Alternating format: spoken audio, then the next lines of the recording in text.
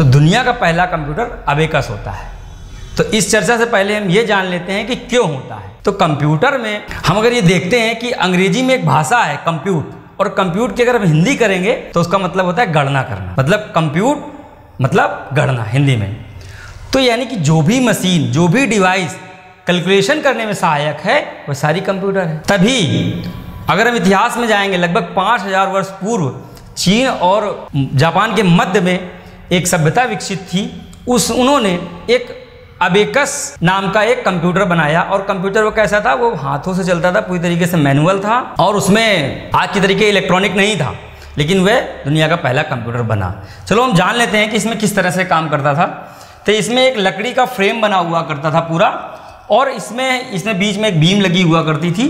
दो पार्ट्स में ये रहता था।